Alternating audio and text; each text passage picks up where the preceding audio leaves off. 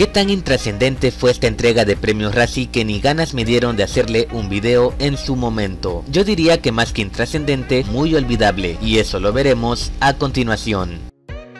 El Razzie a Peor Película tuvo como candidatos a Infinite, Karen, Space Jam, New Legacy, The Woman in the Window y Diana el musical, siendo esta última la ganadora. Como ven, no estuvo tan reñida esta categoría, cosa que irónicamente también se repite en la categoría de Peor Actor, donde LeBron James ganó el premio por su interpretación de sí mismo en Space Jam. Digo, tan mal estuvo su propia caracterización que le arrebató el Razzie a Mark Wahlberg. Respecto al Razzie a Peor Actriz, la cosa se complica un poco ya que candidatas como Amy Adams y su rol en The Woman in the Window o Megan Fox y su trabajo en Midnight in the Switchgrass hacían difícil la elección, pero al final ellas no lo ganaron. Quien ganó este premio fue Jana DeWall por su papel en Diana el musical. Algo cuestionable, pero bueno. Lo chistoso es que Amy también fue nominada en la categoría de peor actriz de reparto por su rol en Dear Evan Hansen, pero tampoco lo ganó. Este premio lo ganó la compañera de Jana DeWall, Judy Kay, por su doble trabajo en Diana el musical. Por otro lado, Jared Leto fue la sorpresa en la categoría de peor actor de reparto por su trabajo en House of Gucci, destronando a pesos pesados de esta ceremonia como lo son Mel Gibson y Ben Affleck. Y una de las razones, aparte de esa terrible enfermedad que motivaron a Bruce Willis a retirarse de la actuación fue su propia categoría en el certamen,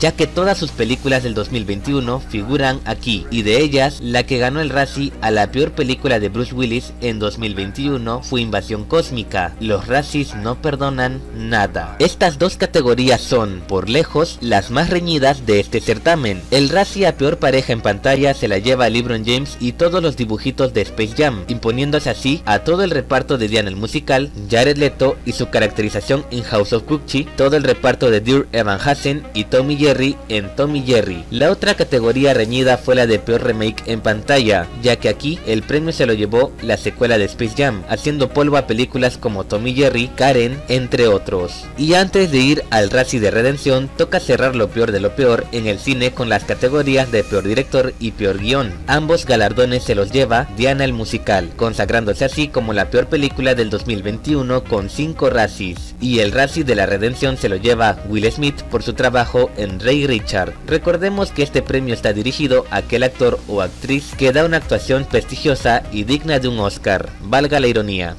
Y listo, eso fue todo por hoy. Como pudieron ver, no hubo mucho morbo en este certamen como en años previos, y si decidí darle un video fue para no romper con la tradición del canal en hablar de estos anti-Oscar, ya sea porque faltaron actores de talla mundial como Adam Sandler o películas nefastas como El Insuperable Cats. Estos premios Razzie brillaron por lo opaco que fueron, pero este año se ve prometedor, así que ya veremos qué nos depara el destino. Sin más, me despido y conmigo será hasta la próxima.